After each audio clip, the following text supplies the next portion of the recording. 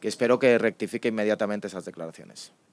que somos conscientes todos de que efectivamente hay episodios racistas todavía en la sociedad y que tenemos que trabajar muy duro para eliminar esos episodios racistas, pero que es profundamente injusto con España y particularmente con Madrid decir que somos una sociedad racista, como ayer viene a decir Vinicius, y que además ponga en peligro la celebración del Mundial del 2030 aquí en Madrid y aquí en España. Y por tanto le pido a Vinicius que rectifique. Es un extraordinario jugador de fútbol, de eso no cabe ninguna duda, pero ser extraordinario jugador de fútbol no quiere decir que uno no pueda meter la pata y en este caso ha metido la pata. Vinicius tiene a la inmensa mayoría de la sociedad española a su lado para combatir el racismo. Lo que no podemos estar es a su lado cuando nos llama prácticamente a todo el conjunto de la sociedad española y particularmente de la sociedad madrileña racistas, porque no lo puedo aceptar. No puedo aceptar esa afirmación que hace eh, Vinicius. Creo que Vinicius lo que debería poner en valor es que vive en una de las ciudades más abiertas, más acogedoras y más diversas que hay en el mundo. Que si algo caracteriza a la ciudad de Madrid es que aquí a nadie se le pregunta ni de dónde viene ni de dónde va.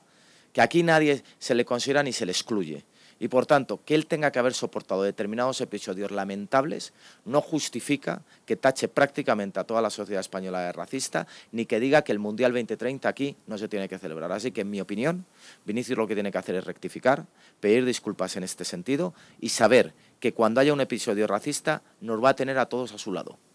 pero que lo que no nos va a tener a todos a su lado es cuando diga que todos somos racistas, porque eso no es cierto, lo tenemos que combatir y desde luego yo le diría a Vinicius que no pasa nada, porque cuando uno se equivoca lo que tiene que hacer es rectificar.